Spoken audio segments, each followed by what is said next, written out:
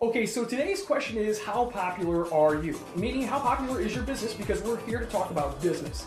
Look, Google is nothing more than a giant popularity contest, and you need to understand today we're going to be talking about citations. A citation, as it relates to us, is not a parking ticket or anything like that. It's a digital citation. And what it looks like is very simple your company name, your company telephone number, your website, and your physical address so important to understand that Google is an absolute freak when it comes to trying to be, hey, who's more popular than the next guy? Look, if you're more popular and you have power listings on your website that's driving traffic, people are going to know about you. This is this is something I do every single time I open up a website.